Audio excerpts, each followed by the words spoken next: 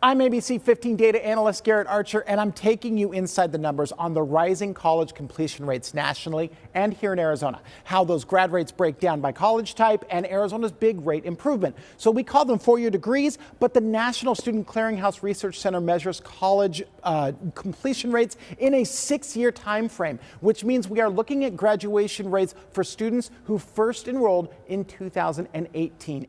And by year six, 61.1% of students students that began this journey ended with a college degree. A little, a little under a third left college before degree completion, and about 9% were still enrolled. Now, grad rates are very different between those who first enrolled as full time compared to part time students. There are much higher six year graduation rates for full time students 67% overall, private school graduation rates 78%, public school 73%. It drops from there with the lowest full time grad rates belonging to for profit universities at about 43%. Only a third of part time students complete their degrees, with the highest rates being at public four year universities. Uh, and here are the trends for the six year graduate, uh, grad rates starting in 2007. A, a, gradual increase you can see in the national rate from just under 55% uh, to that of that 61.1% that we told you about.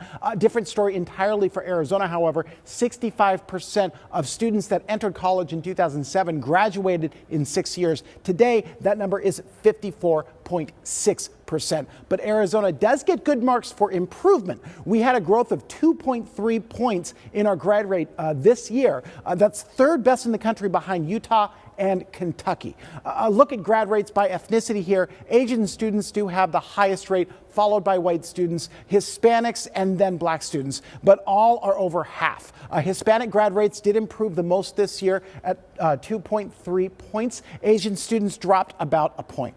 With look at inside the numbers, I'm Garrett Archer, ABC 15, Arizona.